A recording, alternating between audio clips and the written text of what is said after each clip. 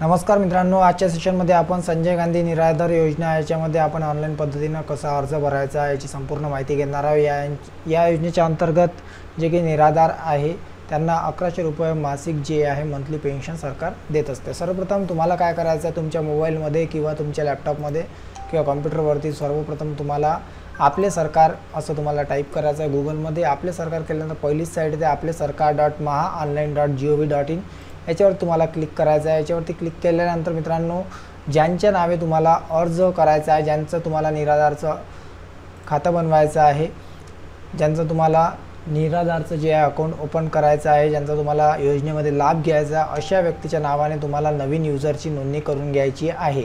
नवीन user इथे जे tab आहे त्याच्यावरती मी क्लिक केलेलं आहे आणि तिथं पर्याय एक तुम्हाला क्लिक करायचा आहे आणि आधार कार्डच्या द्वारे तुम्हाला जे आहे तुमचा युजर आय डी आणि पासवर्ड बनवायचा आहे आणि तुम्हाला लॉग इन करून घ्यायचा आहे. मी ऑलरेडी तुम्हाला ही प्रोसिजर मागच्या एका व्हिडिओमध्ये सांगितलेली आहे तरी तुम्ही तो व्हिडिओ बघू शकता. तर मी आता माझं डायरेक्टली इथे लॉग इन करणार आहे आणि तुम्हाला समोरची मी प्रोसिजर म्हणणार आहे. इथे लॉग इन तुमचं युजरनेम टाकायचा टाकायचं इथे पासवर्ड टाकायचा इथे हा कॅपचा कोड दिलेला आहे. हा तुम्हाला ॲज इट इज इथे एंटर करून घ्यायचा आहे. असं मी इथे एंटर करत आहे. त्याच पद्धतीनं तुम्हाला सुद्धा तुमचा कॅपचा कोड एंटर करून घ्यायचा आहे. त्याच्यानंतर तुम्हाला तुमचा जिल्हा निवडायचा आहे. माझा जो काही जिल्हा असेल मी तो निवडून घेत आहे आणि याला लॉग इन करून घेत आहे. फक्त मी तुम्हाला सॅम्पल म्हणून दाखवत आहे कशा पद्धतीनं करायचं आहे. तर या साईडला नि ब्ल्यूमध्ये आपल्याला ब्ल्यू आणि व्हाईटमध्ये आपल्याला जी आहे योजना दिसत आहे. याच्यामधली आपल्याला सामाजिक न्याय व विशेष आर्थिक सहाय्य याच्यावरती आपल्याला क्लिक करायचं आहे. ह्या योजनेमध्ये आल्यानंतर मित्रांनो याच्यामध्ये आपल्याला बऱ्याचशा योजना मिळतात. ह्याच्यामधली आपल्याला जी योजना घ्यायची आहे त्याच्यामध्ये विविध योजना आहे त्याच्यामधली आपल्याला विशेष सहाय्य योजना ही जी आपल्याला मिळत आहे ही तुम्हाला सिलेक्ट करायची आहे. फक्त हे लक्षात ठेवा विशेष सहाय्य योजना. अर्थ कुटुंब सहाय्य नाही याच्यामध्ये विशेष सहाय्य योजना याच्यावरती क्लिक करायचं आहे आणि पुढे जा म्हणायचं आहे. पुढे जा केल्यानंतर ते आपल्याला नवीन साईटवर घेऊन जातं. तर नवीन साईट अशा पद्धतीची येतं. याच्यामध्ये सुद्धा आपल्याला बरेचसं मिळतं. बऱ्याचशा योजनाचे याच्यामध्ये नावं येतं. परंतु आपल्याला फक्त याच्यामध्ये जे आहे विशेष सहाय्य योजना याच्यावरती आपल्याला क्लिक करायचं आहे. तर विशेष सहाय्य योजना आपल्याला टिक करून घ्यायची आहे आणि टिक केल्यानंतर आपण समोर वळूया. टिक केल्यानंतर आपल्याला या विशेष सहाय्य योजनेमध्ये आपल्याला जे आहे कुठले कुठले आपल्याला दस्तावेज द्यायचा ते एक तुम्हाला ओळखीचा पुरावा द्यायचा आहे एक पत्त्याचा पुरावा द्यायचा आहे आणि इतर दस्तावेज आहे. पत्त्याच्या पुरावामध्ये तुम्हाला जे आहे रहवासी दाखला लागेल तो ग्रामसेवक तलाठी किंवा मंडळ अधिकारी यांनी तो दिलेला असला पाहिजे.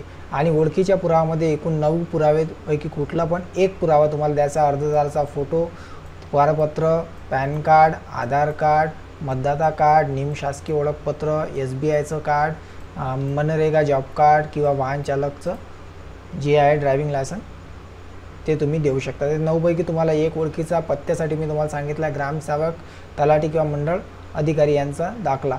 इतर दस्तावेजमध्ये तुम्हाला इतर दस्तावेज दिलेले याच्यामध्ये विधवा असल्याचा मोठ्या मुलाचे जन्म प्रमाणपत्र असल्यास ते किंवा विधवा असेल तर ते घटस्फोटीत असले तर तसा पोटगी न मिळण्याबाबत महिला गजून न्यायालयीन आदेश असेल. जिल्हा शल्य चिकित्सक रुग्णालय वैद्यकीय अधीक्षक यांनी दिलेला दाखला. पतीचे निधन झाल्याबद्दल संबंधित ग्रामपंचायत किंवा नगरपे मृत्यू प्रमाणपत्र तुम्हाला लागेल किंवा नोंदवहीतील उतारा लागेल. ओके? त्याच्यानंतर तलाठी व ग्रामसेवक यांचा संयुक्त दाखला तसेच शहरी भागासाठी तलाठी किंवा नगरपालिका महानगरचे कर निरीक्षक यांनी दिलेलं प्रमाणपत्र हे जे दिलेले आहे इथे टोटल तेरा दिलेले आहे त्याच्यापैकी कुठलं पण तुम्हाला इतर दस्तावेज जे जे लागू असतील ते तुम्हाला याच्यातले लागणार आहे. जसं घटस्फोटीत महिला असेल तर त्यांना जो आहे घटस्फोटी पोटगी न मिळत तर न्यायालयाचा त्यांना आदेश लागेल. कोणाच्या पतीचे निधन झाले असेल तर त्यांना संबंधित ग्रामपंचायत किंवा नगरपरिषद किंवा महानगरपालिकेचा जे आहे त्यांना मृत्यू प्रमाणपत्र लागेल. ओके तर अशा टाईपचे याच्यामध्ये तुम्हाला लागणार आहे. वयासाठी तुम्हाला एक तर शाळा सोडल्याचा दाखला टी सी तुम्हाला किंवा मग शिधा पत्रिकेमध्ये अथवा निवडणूक मतदार नमूद केलेला वयाचा उतारा ग्रामपंचायत नगरपालिका महानगरपालिका जन्म व नोंद वहीतील उतार्याची साक्षांकित प्रत आणि ग्रामीण नागरी रुग्णालय वैद्यकीय अधिकारी अधीक्षक यांच्यावरील दर्जावरील शासकीय वैद्यकीय अधिकारी दिलेला वयाचा दाखला. तर याच्यापैकी कुठलं पण एक तुम्हाला द्यावं लागेल.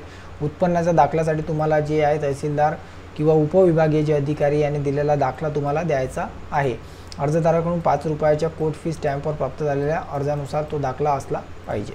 तर उत्पन्नाचा जो आपण ऑनलाईन काढतो तो सुद्धा तुम्ही देऊ शकता. जातीचा दाखला यासाठी तुम्हाला जे आहे जातीचं जे काही प्रमाणपत्र असेल ते तुम्हाला द्यावं लागेल. कायदेशीर दस्तावेज पालकांचा रहिवाशी दाखला पालकांचा रहिवाशी दाखला जे काही असेल.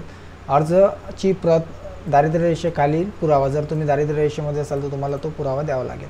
त्याच्यानंतर सर्व्हिस नेम बघायच्या संजय गांधी निराधार योजना आहे. टाईम लिमिट आहे तीस दिवसात तुम्हाला मिळते. संजय गांधी निराधार किंवा श्रावण बाळ योजनासुद्धा असं त्याला म्हणतात. ते तहसीलदार आणि उपविभागीय अधिकारी first appealing appeal second appealing अधिकारी विभागीय अधिकारी म्हटलेलं आहे. तर ही योजना ही आहे याच्यामध्ये तुम्हाला पुढे सुरू करायच्यावरती क्लिक करायचं आहे. त्याच्यानंतर इथे जे आहे तुम्ही दरिद्र रेषेखाली आहे नाही ते तुम्हाला इथे क्लिक करून घ्यायचं आहे होय नाही आणि पुढे जा म्हणायचं आहे. पुढे जानंतर तुमचं इथे डिटेल्स येऊन जाईल तुमचं नाव वगैरे याच्यामध्ये येऊन जाईल तुमचा मोबाईल नंबर येऊन जाईल. तुम्हाला इथे लिंग निवडायचं आहे ईमेल आय डी असेल तर टाका व्यवसाय टाकून द्या. तुमचा संपूर्ण पत्ता टाका ॲज इट इज ज्याप्रमाणे आहे.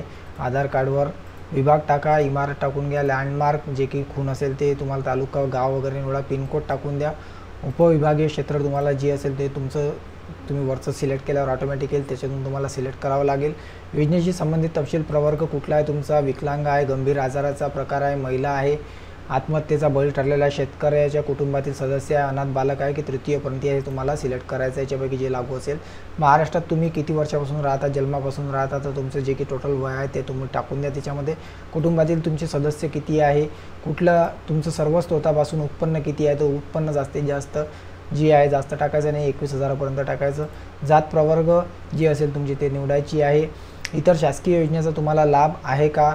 तर होय नाही करायचं आहे. बँक खाते पोस्ट ऑफिसचं तुमचं खातं कुठे आहे? बँकमध्ये आहे की पोस्ट ऑफिसमध्ये ते तुम्हाला करायचं आहे आणि कराराचा तपशील हो मला मंजूर आहे आणि समावेश करा. इथे क्लिक करून द्यायचा आहे. इथे इथे क्लिक केल्यानंतर त्याच्यानंतर मग इथे क्लिक केल्यानंतर मित्रांनो तुम्हाला जे आहे संबंधित जे काही दस्तावेज आहे ते तुम्हाला अपलोड करून द्यायचे आहेत. अशा पद्धतीनं तुम्ही संजय गांधी निराधार योजनेचा फॉर्म ऑनलाईन पद्धतीनं भरू शकता. तरी मी तुम्हाला शॉर्टकटमध्ये दाखवून दिलेला आहे. तुम्हाला काही अडचण येत असेल तर तुम्ही मला कमेंट करून विचारू शकता.